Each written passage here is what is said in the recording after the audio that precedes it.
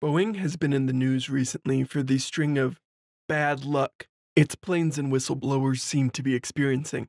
But we can now go even further and say that Boeing defrauded the Federal Aviation Authority related to the fatal crashes of its 737 MAX planes. A recent filing from the United States in the criminal case noted that it had reached an agreement in principle with Boeing where it will plead guilty to conspiracy to defraud the United States this will also see Boeing pay the maximum possible fine, approximately $487 million, require them to invest $455 million into compliance and safety, and additionally allows restitution to families that were affected by the fatalities caused by Boeing's negligence. This is a lot of money, especially if that restitution ends up as a big number, which it probably will. But also, it's like less than one quarter of the profits that Boeing makes in a year. And Boeing had previously agreed to a deferred prosecution agreement related to these misrepresentations, but it has since been found to have breached the terms of that agreement.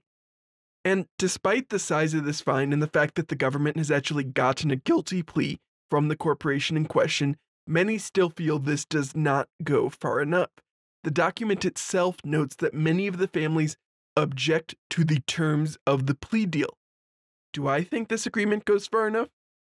Frankly, I think it's far better than most corporate cases. For one, we actually have them getting a guilty plea after violation of a deferred prosecution agreement, a painfully rare occurrence.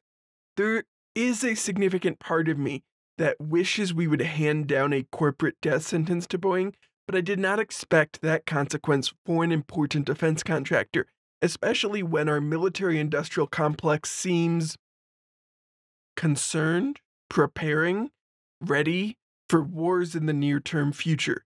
But that's a truly disappointing thing about our justice system. Boeing is a company our government needs so they can more efficiently kill people. And because of that need, the government, in some respects, is willing to tolerate Boeing killing people. This plea agreement will not affect Boeing's ability to go after government contracts.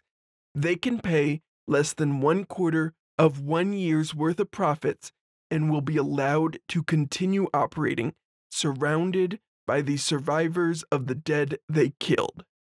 That is fucked up.